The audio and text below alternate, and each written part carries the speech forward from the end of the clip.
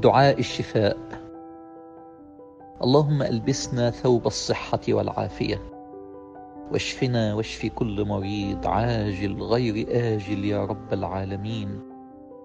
اللهم خفف الألم وقوي البدن وأزل الوجع.